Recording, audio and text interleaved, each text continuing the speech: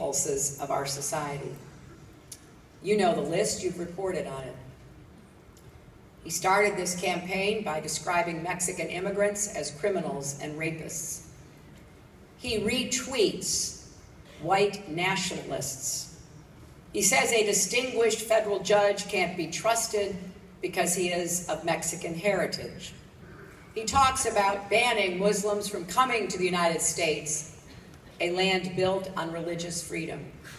And yes, he also talks about curtailing press freedom as well.